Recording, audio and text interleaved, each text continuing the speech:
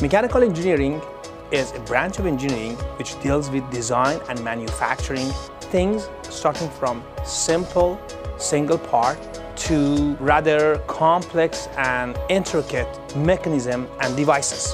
School of Engineering offers three engineering programs, electrical, mechanical and civil engineering programs. The first two years are designed in a way where students have an opportunity to interact with various disciplines. We take a lot of pride the way we offer our program, which is a design focus, problem-based learning, and project-based learning. As a mechanical engineer, we are trying to design and develop new nanostructured materials that will enable next generation battery technology.